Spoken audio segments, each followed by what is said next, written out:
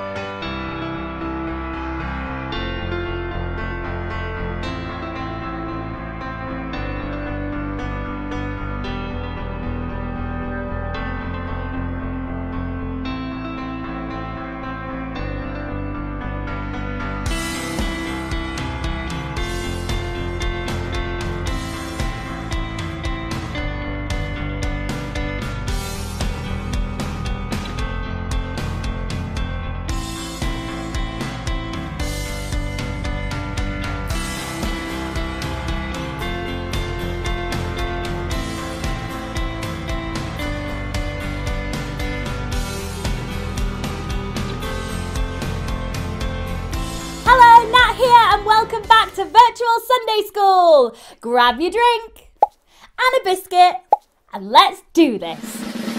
When you're stuck at home with time to spare, can't go outside, you're not going anywhere. Why don't you pull up a chair or pull up a stool, tune into Virtual Sunday School. With a craft to do and a story or two. Say hello to Nat, she's stuck at home too. Why not tune in to Virtual Sunday School? Today we're going to be looking at a famous Bible character. So we're going to look at part of David's story. So we'll have a Bible story, some fun crafts, a prayer time, and then we'll finish with a final thought. We're going to look at the story of when God chose David to be king, which can be found in 1 Samuel chapter 16 verses 1 to 13. To help us tell the story, we're going to use some editing magic, and Rob's going to be one or two of the characters for us. Well, all of the characters. One day, God sent Samuel to Bethlehem to a man named Jesse because God had chosen one of Jesse's sons to be the future king. Jesse introduced Samuel to his sons. Firstly, Samuel met Eliab. who was very tall. Surely this is who God wants to be king, Samuel thought. But God said, No. Do not consider his appearance or his height. People look on the outside, but God looks at the heart. So Samuel moved on to Jesse's next son, who had a very funky name, Abinadab. He was very strong. But God didn't choose him to be king either. Next, Shammah, who was very handsome, came before Samuel. Perhaps he could be the king. Nope, this still wasn't God's chosen king. Jesse had seven sons come before Samuel. All seven of these brothers could have been king, but it didn't matter if they were strong or tall or handsome or popular or funny or sporty or confident. They were not who God had chosen to be king. Samuel asked, I don't suppose you've got any more sons? Jesse replied, Well, there is David, but he's the youngest. He's out in the fields with the sheep. Call him in. We won't sit down until he arrives. So they called David, and he came to meet Samuel. And the Lord said, This is the one. So Samuel took some oil and anointed David that one day he would be king. You might have heard the saying, don't judge a book by its cover. And you know, when Samuel met Jesse's first son, he thought, surely this is the one God wants to be king. He judged him on what he looked like on the outside. But God said no. People look on the outside, but God looks at the heart. It doesn't matter what we look like on the outside, it matters who we are on the inside. Now it's time to do some crafts. For today's craft, you're going to need some paper, pens, and a pair of scissors. We're going to draw an outline of a person, and that person is going to be you. But make sure you leave enough room on the outside and on the inside because we're going to write in both. All around the outside, I want you to write down things that other people might see about you. So I might write down blonde, small, bossy, things like that. On the inside of our person, we're going to write down all the things that are important on the inside of us. So take a minute and have a think. What characteristics do you think are the most important? And what characteristics do you think God thinks are the most important? So, for example, I might write being kind, being caring, being creative, and knowing God. So now we have a picture of us. But what we're going to do now is cut out the person and we're going to get rid of everything that goes around the outside. So we're just left with how God sees us. And this is a great reminder for us that although people look at the outside, God looks at the heart. Now, often when we pray, we close our eyes. But did you know? It actually doesn't say we have to do that in the Bible. It's just a really helpful thing because it can help us to focus on God and make sure we're not distracted by the things we see. So today I'm going to pray, and if you want to join in with me, you can cover up your eyes and join in by saying Amen at the end. Dear God, I'm sorry for the times that I have let things on the outside distract me from what is most important. Thank you that you look at our hearts and that we can grow closer to you through Jesus. Please be with us today and help us reflect more of you in all we do. In Jesus' name I pray. Amen. Hopefully, you joined in with me then, closing your eyes for our prayer and you weren't distracted. But quickly, rewind the video a little bit and look at all the things that could have ruined our prayer. This is why closing your eyes to pray can be really helpful. And so, a final thought. It doesn't really matter if we have blonde hair or brown hair or no hair. Who we are on the inside is what really matters.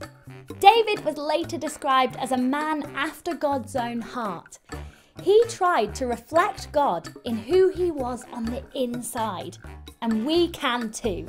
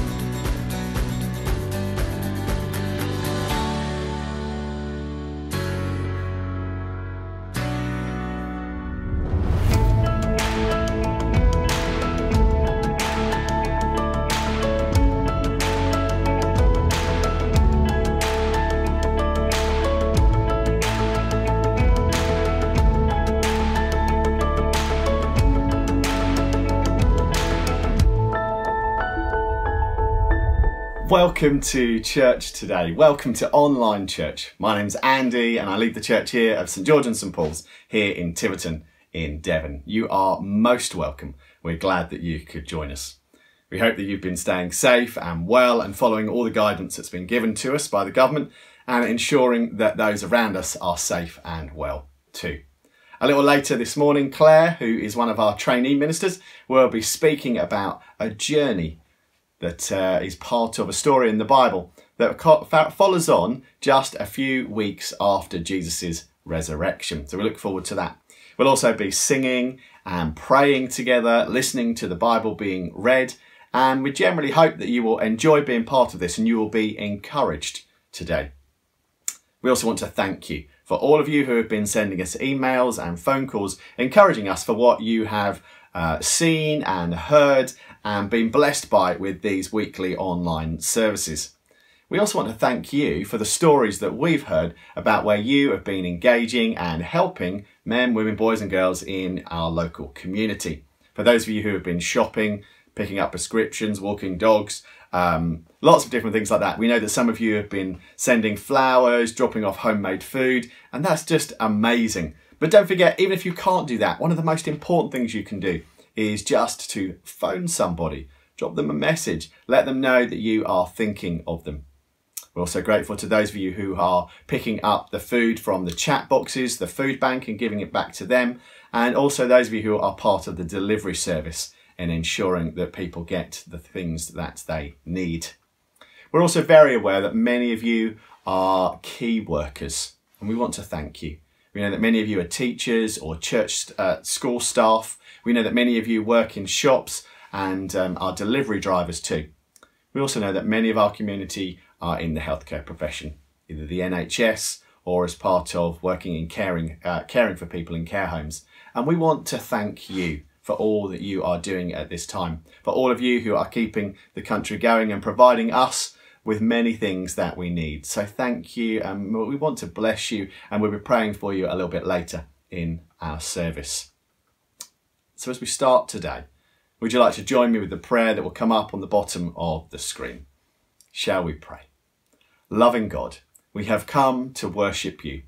Help us to pray to you in faith, to sing with praise, with gratitude, and to listen to your word with eagerness through Christ our Lord. Amen. So we're going to worship and sing together now as Jen and her family lead us this morning. Thanks, Jen.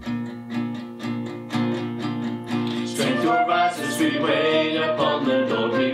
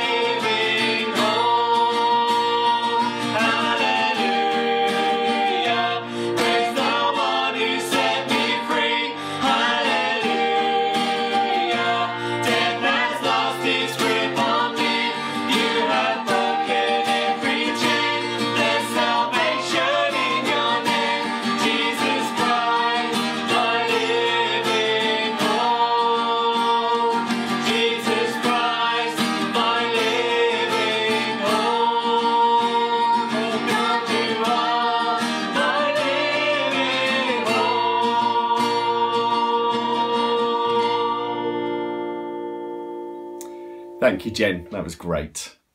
You know, part of our Christian journey is recognizing that God calls us to be more and more like Him. Now, I don't mean in a sort of holier than thou type of way, but in a way that helps us to understand more and more about Jesus. To ask questions like, what would Jesus do? To try and do likewise. In the Bible, we are asked to love God and love our neighbours. But we recognise that sometimes we don't do either of those things particularly well. So we pray a prayer that does not condemn us, but reminds us of the freedom that God gives us to know Him, that He forgives us and gives us an opportunity to try again, to love Him and to serve Him, to love our neighbour and serve our neighbour. Now, if you would like prayer one on one, our practice often is when we meet physically is to pray for people after the service. Now, due to the difficulty in doing that online, we want to offer that during the service. Now, if you are watching this on our online platform, you can request prayer by pressing the live prayer function. And that will take you to a dedicated chat area where someone will be willing to pray for you in private. You can still hear and watch what else is going on, but it's there if you would like it. We recognise that especially in these tough times when we can all get a little bit cranky with people and a little bit of annoying too, and we know that people are cranky with us and they annoy us, we recognise that we need to seek God's forgiveness. So we're going to do that now. Let me pray. In baptism, we died with Christ, so that as Christ was raised from the dead, we might walk in newness of life. So we receive new life in Him as we confess our sins in penitence and in faith. So today we still ourselves, close our eyes, concentrate on our breathing, and listen to these words. We breathe in love. We breathe out hate and we breathe in acceptance. We breathe out separation and breathe in forgiveness. We breathe out fear and breathe in peace. We breathe out anxiety and breathe in life. We breathe out death and breathe in gentleness. We breathe out tension and breathe in God's presence. We breathe in God's acceptance and His forgiveness. Amen. Amen indeed. Over the last few weeks, um, when we've been streaming, sometimes at this point we have a fun quiz to uh, engage us, to test us, to have a little bit of fun, or we've watched a video. But today is back to those quiz questions again. Just a few questions to remind us and to prepare us to be listening and to be ready to respond. So our first question, it's all about distance and journey today. So our first question is, what's the distance in metres for a professional football pitch from one goal to the other goal at the other end? What's the distance in metres for a professional football pitch from one goal to the other goal at the other end? Now, if you are not watching in the UK, I mean a soccer field, but for the rest of us, it's a football pitch. So is the distance 100 metres, 105 metres or 110 metres? Make your guess now. The answer is 105 metres. Yeah, that's about 115 yards in old money. Now it does vary a little bit depending on the ground, but generally speaking, the professional pitch is 105 metres long. Our next question.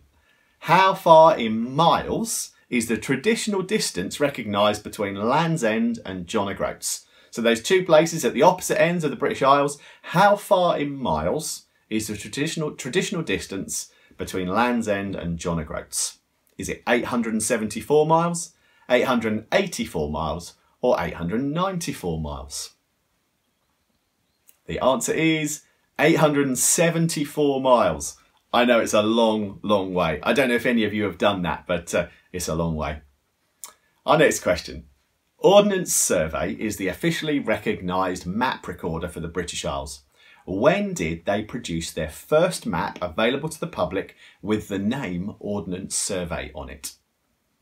So was it 1790, 1800 or 1810? So Ordnance Survey are the officially recognised map recorders for the British Isles. When did they produce their first map to the general public with their name Ordnance Survey on it? The answer is 1810. 1810. Yeah, that was a map of the Isle of Wight and uh, the Dorset coast. So if you ever find one of them, they're worth a lot of money. So our final question then today. How many miles is it to Emmaus from Jerusalem? How many miles is it from Emmaus to Jerusalem or to Emmaus from Jerusalem? Either way, it's the same distance. So is it 9.4 miles, 10.4 miles or 11.4 miles? We'll obviously hear something more about this journey in a moment when Claire speaks, but until then, how far do we think it was? The answer is 10.4 miles. How did you do? Did you get them all right or not all right? See, how did you go? Anyway, before Claire speaks and shares with us what God has on her heart for us to hear this morning, we're going to hear that being read from the Bible today. Thank you, Sarah. Luke chapter 24, verses 13 to 35. Now, that same day, two of them were going to a village called Emmaus, about seven miles from Jerusalem. They were talking with each other about everything that had happened. As they talked and discussed these things with each other, Jesus himself came up and walked along with them, but they were kept from recognizing him. He asked them, What are you discussing together as you walk along? They stood still, their faces downcast. One of them, named Cleopas, asked him, Are you only a visitor to, to Jerusalem, and do not know the things that have happened there in these days? What things? he asked. About Jesus of Nazareth, they replied. He was a prophet, powerful in word and deed before God and all people. The chief priests and our rulers handed him over to be sentenced to death, and they crucified him. But we had hoped that he was the one who was going to redeem Israel. And what is more, it is the third day since all of this took place. In addition, some of our women amazed us. They went to the tomb early this morning, but didn't find his body. They came and told us that they had seen a vision of angels who said he was alive. Then some of our companions went to the tomb and found it just as the women had said, but they did not see him. He said to them, How foolish you are, and how slow of heart to believe all that the prophets have spoken. Did not the Christ have to suffer these things and then enter his glory?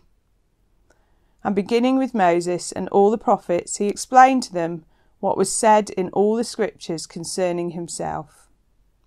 As they approached the village to which they were going, Jesus acted as if he was going farther. But they urged him strongly, Stay with us, for it is nearly evening. The day is almost over. So he went in to stay with them. When he was at the table with them, he took bread, gave thanks, broke it, and began to give it to them. Then their eyes were opened and they recognized him, and he disappeared from their sight. They asked each other, Were not our hearts burning within us while he talked with us on the road and opened the scriptures to us? They got up and returned at once to Jerusalem. They found the eleven and those who and those with them assembled together and saying, "It is true, the Lord has risen and has appeared to Simon." Then the two told what had happened on the way and how Jesus was recognized by them when he broke the bread. So we're outside on the farm and it's a gorgeous day and we're surrounded, it feels, by new life everywhere. We're lambing. We had a single this morning, so it's all happening. The beech trees with their lime coloured leaves have burst out this week as well, which has been so lovely. And life continues. People are working really hard. Uh, people are loving and caring for each other. Homeschooling has started. and the seasons keep on going. My journey with you this morning starts at the foot of the cross, the symbol, the most powerful symbol of the empty cross that there is in the Christian faith. Because of what Jesus has done for us today, this journey has everything to do with new life. And we've all had a new life, haven't we, these past five weeks during lockdown. And I wonder what you've been up to. Have you been having a good old tidy? Have you tried some new skills? Have you been perhaps more attached to Facebook than normally, posting some of those new things that you've tried with your families perhaps, and then watching and waiting for all the likes, which can become quite addictive, can't it? As in other things that we throw ourselves into can become quite addictive. But I wonder how you've actually been through this time. Sam and I have been um, in social isolation for a, quite a long time because he was ill right at the very beginning and we've had a great deal more time to think about things and wonder what's been going on in the world. And I've actually had an essay to write in the middle of it as well. And I've had to look at some um, statistics. And a worrying statistic I don't know if you knew this already but in the age group of 20 to 49 the biggest form of death is by suicide. And this made me really sad. Um, and 75% of those were men and this made me feel sad, and I actually cried quite a lot about that, and generally about our old world and how that looks, and why would that be happening with all the progression that we've had in our society? There must be a lot of unhappiness. And I was praying maybe this new experience of lockdown would um, give us some more value about what actually is important. And apparently, Google uh, of late have had the most hits on prayer sites, which again is really encouraging, and hopefully, people will find a new way of life.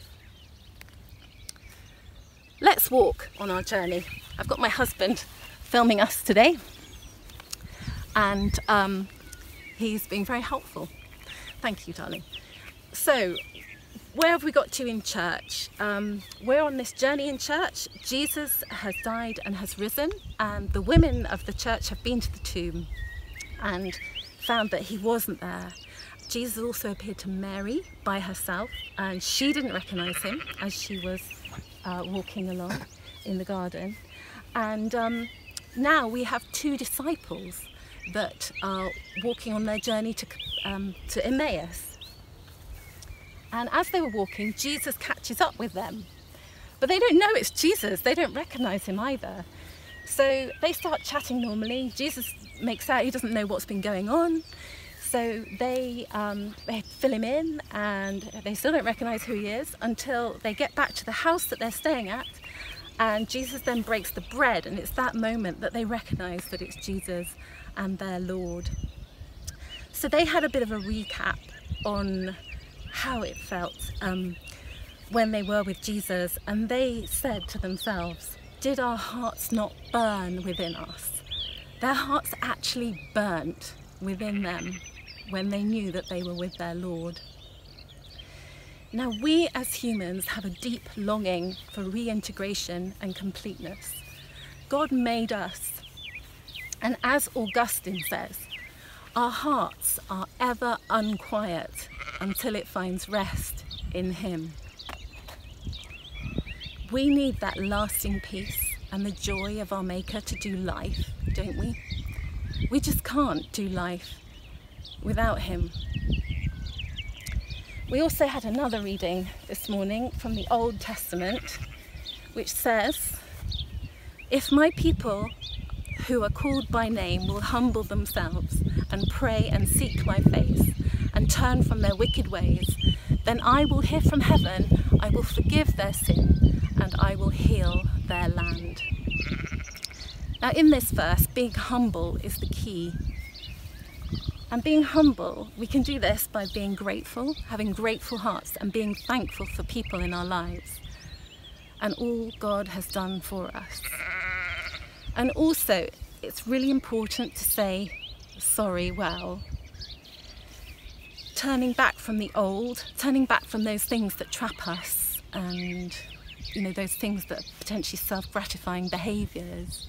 Returning instead to happiness and holiness coming home as it was, really, as it were, coming home, for that feeling of homecoming.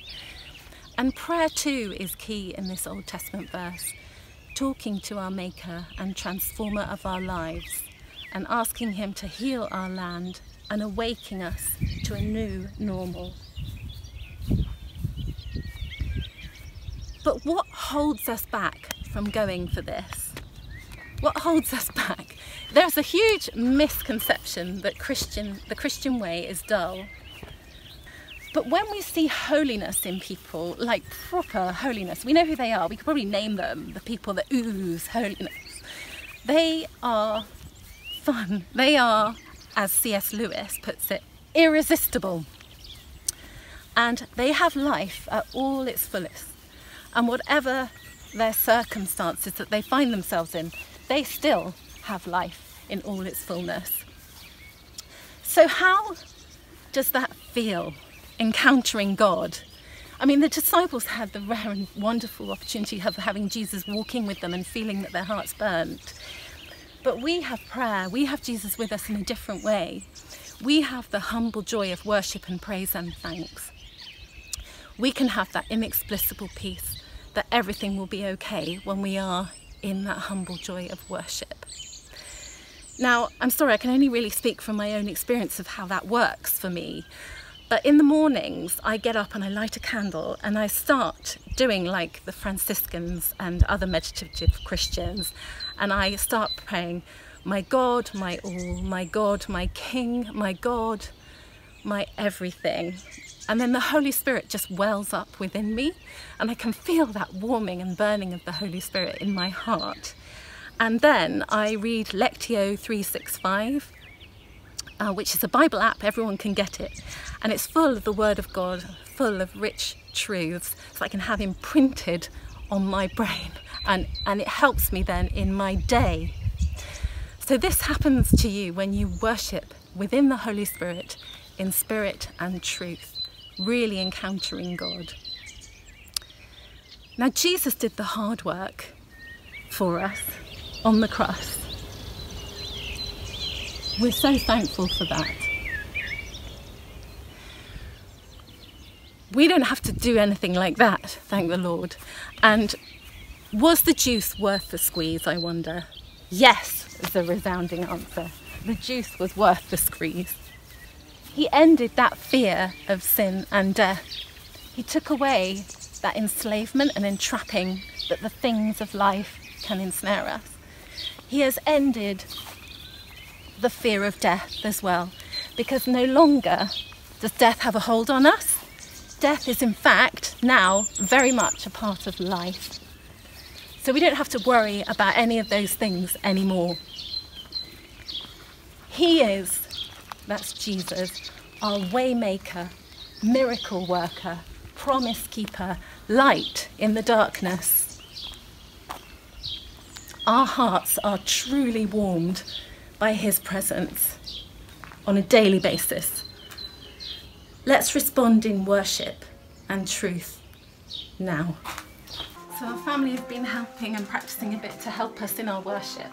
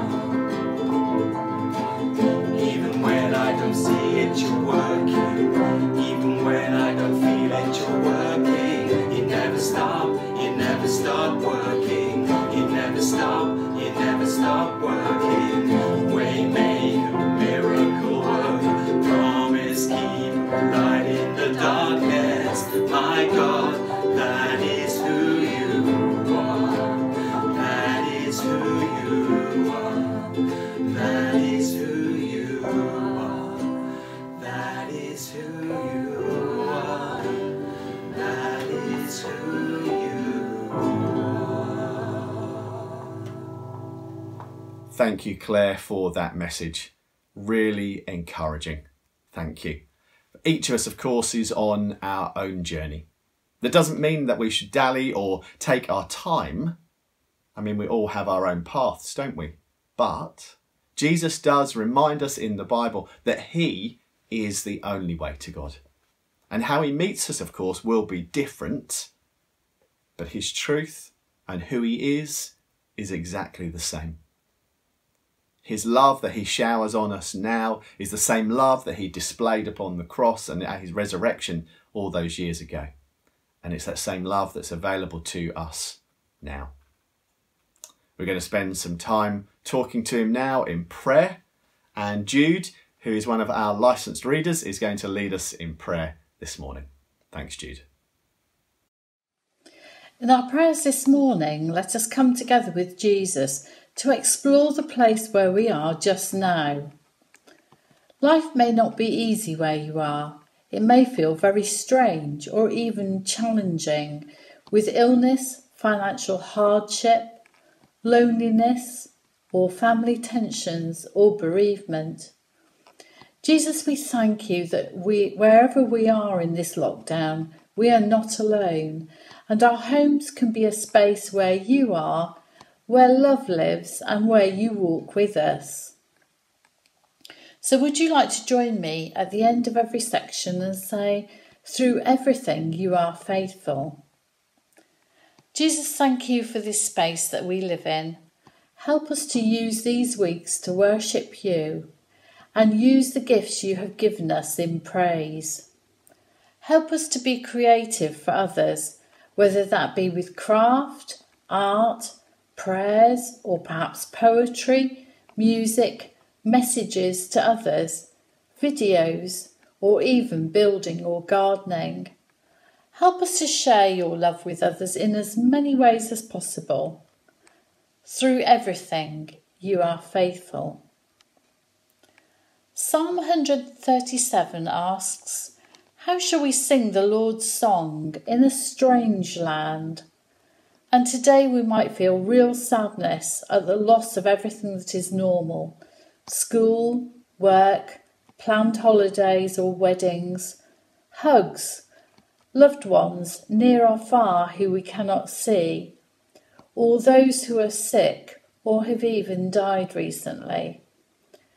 Thank you, Jesus, that you walk beside us and protect us each day. There are so many people struggling in this new situation, not knowing how long it might go on for or how it will be resolved. Our leaders too have hard decisions to make, which affects both lives and livelihoods. We pray that you will strengthen and help everyone in the days to come as they face change. Through everything, you are faithful. We are in isolation but still connected. Jesus, help us to stay separated in lockdown, to preserve the lives of others, and to help those frontline workers working to save lives each day. May we keep our connections in whatever ways are possible with people around us, to support them and show them your love in a very practical way. We ask for guidance, wisdom, and energy too for all those who volunteer help to others during the week. Through everything, you are faithful. Jesus, help us to remember and do what we can for those worldwide without even basic food, clean water, or medical services. May we look out of our own lives today and see and pray for their need, for the aid organisations and charities worldwide, and to give help where we can. Remembering that this virus affects every population, including those most, mo- most vulnerable in even normal times. Jesus, we thank you that in the places most in need, you walk alongside and will always be the bread of life to everyone. Through everything, you are faithful.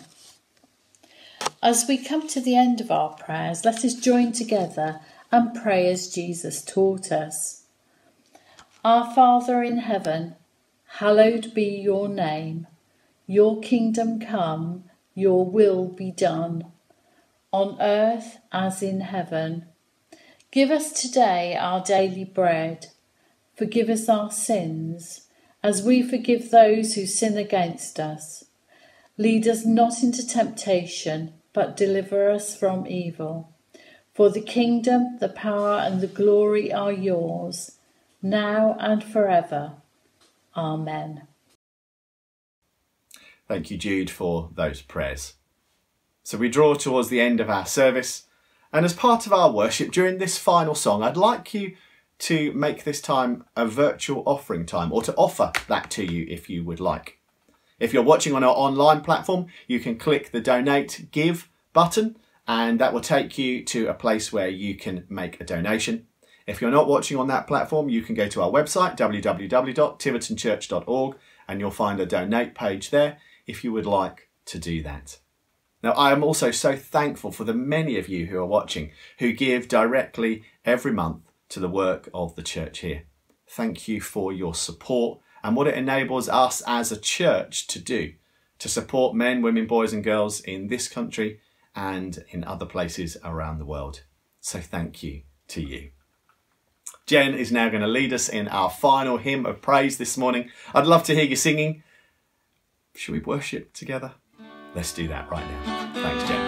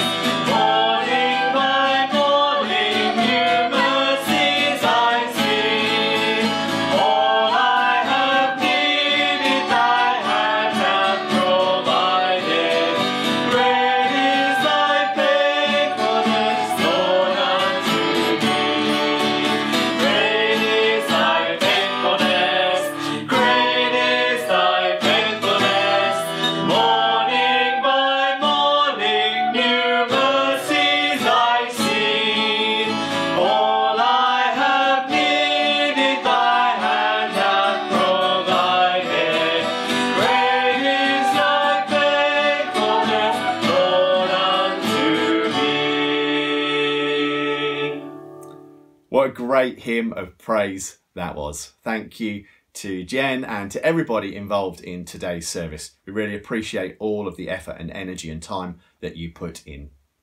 In a, in a short moment at uh, 11.30 we'll be opening up our Zoom coffee morning. Uh, we may be open a few minutes before that. But don't forget, if you join us and there are people already in that, don't worry. It's just like being in a large gathering where some people arrive early and some people arrive slightly late. We'll be breaking up into some small groups to be able to engage in slightly easier conversation, but we do hope you can join us. If you choose not to do that, that's okay too. We hope that you've enjoyed our time together this morning and we look forward to you joining with us next week. Don't forget you can follow us on Facebook or you can check out all of the content that we put up on our YouTube channel too. Until then, why don't I pray for us? God our Father, may the whole world join in a hymn of thanksgiving for the great love that you have shown to us in Jesus Christ our Lord. For he is risen from the dead, and so may our hearts and lives echo your praise now and always. And so may the blessing of God Almighty, the Father, the Son, and the Holy Spirit be with each one of us, those whom we love, today and always. Amen. Have a great week. Uh, stay safe, stay well, and we look forward to you joining us next week. Until then, goodbye.